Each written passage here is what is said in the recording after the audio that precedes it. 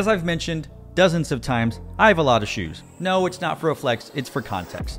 And because I have so many shoes, a shoe has to have a really cool, unique colorway, design, silhouette, etc. to make me want to add them to Mont Shoe more.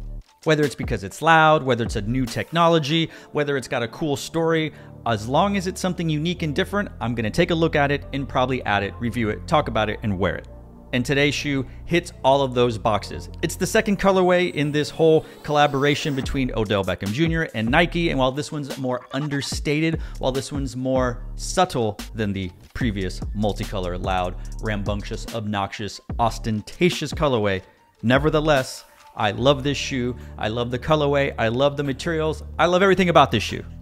So today, we're going to talk about the Nike Air Max 720 Odell Beckham Jr., Young King of the People.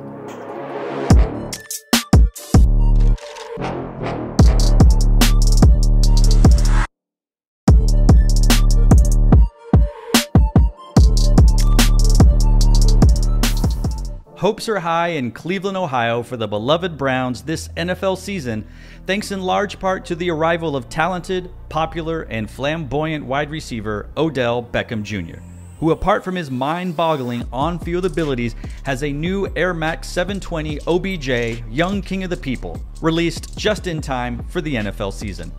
Featuring a tan and gray color scheme inspired by sand dunes in his home state of Louisiana, all the way to Egypt, Beckham's newest Nike shoe presents an inherently palatable look, quite unlike the wild, and therefore somewhat divisive, young King of the Drip colorway that released in June. The heavily layered upper is constructed from mesh, suede, and inspired by classic 90s Nike football turf designs, while the cork insole features unique designs from OBJ's Egyptian hieroglyphic inspired Nike alphabet. Down below, a soft gray Air Max 720 midsole outsole finalizes the look.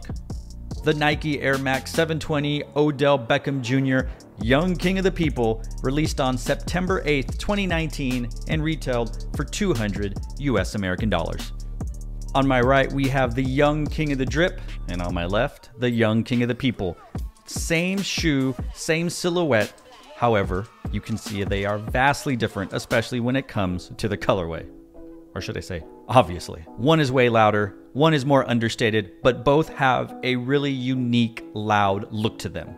And both feature that thick with 2C's 720 airbag, which makes for a shockingly comfortable shoe.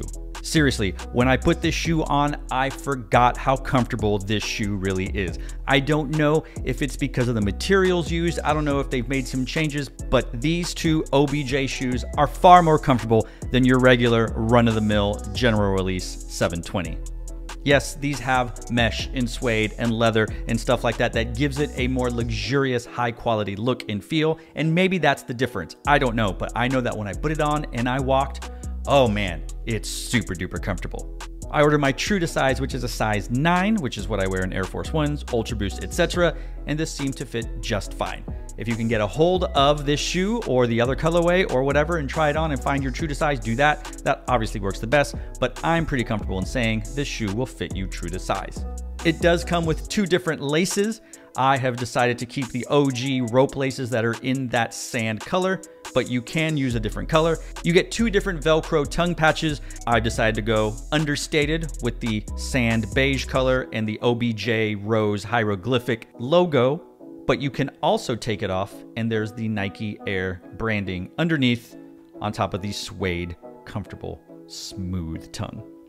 One of my favorite things about this shoe is the back, the heel where the Air Max branding is debossed. Oh, it's such a buttery, smooth suede material. Oh, and you find that type of material around, like I said, on the tongue. You find it on hits around the medial side of the shoe, as well as the lateral side of the shoe, and a rougher suede underneath the lacing system where you find the Nike swoosh branding. And I have to say that I love that little hint of that Volt red, hot pink hot punch color that is on a tab attached to the tongue on both shoes.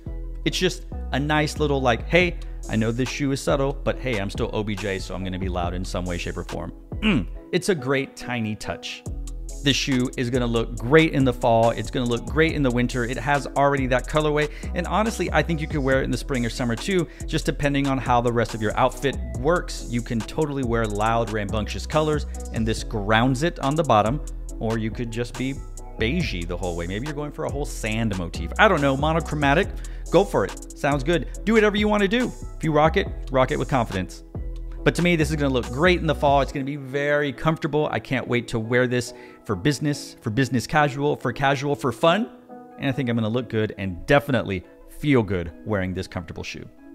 Let me know in the comments down below what you think about this colorway, what you think about the silhouette, and whether you agree with me that this is just oddly more comfortable than I seem to think other 720s are. Not sure why. Maybe they did something different. Maybe the air is more premium. I don't know. I just know that this one and the King of the Drip, super duper comfortable. Man, I'm shocked at how comfortable that silhouette is. And that's what I've got for the OBJ Young King of the People to all the people wherever you are. Thanks for watching. Stay tuned and just chill. Till the next episode.